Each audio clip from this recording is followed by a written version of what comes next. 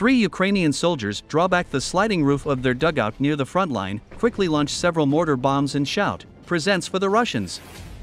To avoid revealing their position, they rapidly replace the makeshift roof, consisting of branches and leaves covering material stretched over a metal frame and take cover. It's a routine they repeat frequently as Ukraine's army tries to battle through vast Russian minefields and heavily fortified trenches in the southern region of Zaporizhia. Kiev says its troops are gradually pushing back Russian forces in the south after 18 months of occupation, but that fighting is heavy three months into the counteroffensive. The mortar position is part of a maze of trenches and dugouts with wooden walls and underground living quarters. The living quarters have lighting, Wi Fi, and wooden beds, shelves, and furniture. In the kitchen area, a frying pan hangs on a wall and other cooking equipment lies on shelves. Rifles hang on the wall in another area. И закрывается обратно, когда работа ну, закончена.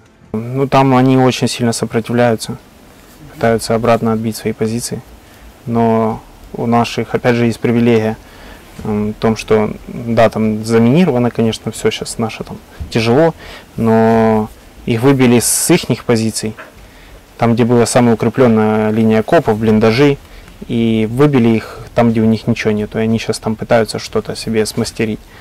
А наши, по сути, в их позициях, подготовленных ими же. Так что в этом есть, конечно, у нас преимущество. Колпак суров.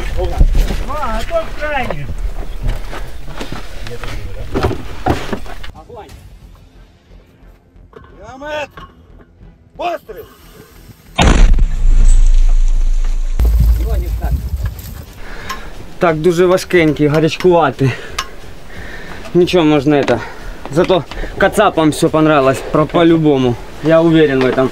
А нам тем более. Сначала это вообще раскапывалось, надо было один блиндажик выкопать. А потом оно как-то в азарт вошли, начали копать, копать, копать.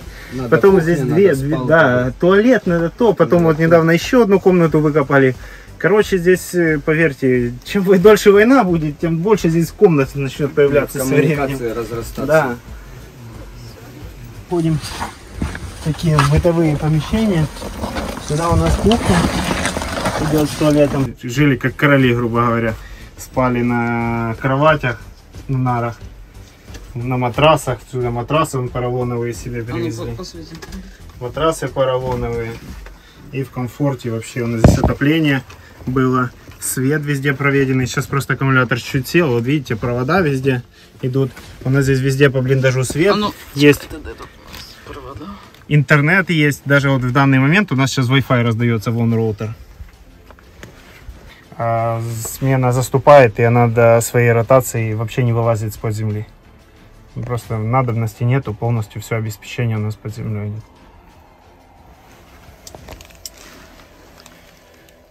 Маленько, але ой. А, на 5 человек. Да, расчет, Больше не нужно. расчету вполне хватает. Живет 5 человек, как раз у свободно садятся люди. Кушают, чаи гоняют. Как дома, короче. то, например, Залужного больше все зависит, э, чем от Резникова. Например, в наших реалиях, ну, в плане войны и ведения боевых действий. Так что Резников, я так понимаю, это больше как административная личность, чем, э, чем боевая, ну, он принимает решения на линии фронта. Так что лично что для нас повлияет на, на эту замену кадров этих, не знаю.